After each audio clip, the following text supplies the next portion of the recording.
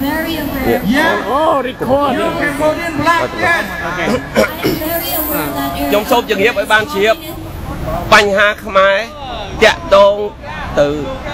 រឿងយួនរឿងអីក៏ដោយអ្នកដឹកនាំត្រូវមានចំហររឹងមាំជាពិសេសគឺគណៈបកខាង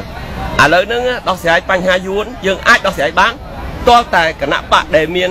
55អាសនៈនៅក្នុងរដ្ឋសភាហ៊ានចូលគុកទាំងអស់គ្នាអានឹងមានជោគជ័យ បើត្រឹមតែនិយាយតតាំងគ្នាដូចជាងអាយ៉ៃទេយើងអត់មានយើងអត់អាចដោះស្រាយបញ្ហាព្រំដែនបានហើយយើងក៏អត់មានជោគជ័យតតសោះទៅអនាគតយល់បងដែរទេអានឹងខ្ញុំមិនទាន់យល់ព្រមទេកន្លែងហ្នឹងខ្ញុំឃើញថាដូចជាលោកសំរងស៊ីគាត់តស៊ូពីយូរឆ្នាំណាស់ហើយបានតែ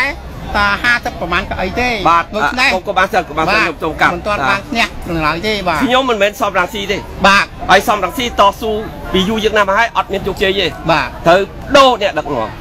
បដូរអ្នកដឹកនាំគណៈបព្វឆាំងទើបមានជោគជ័យណាខ្ញុំសូមអរគុណប៉ុណ្ណឹងបានណាគាត់គាត់បានយូរហើយ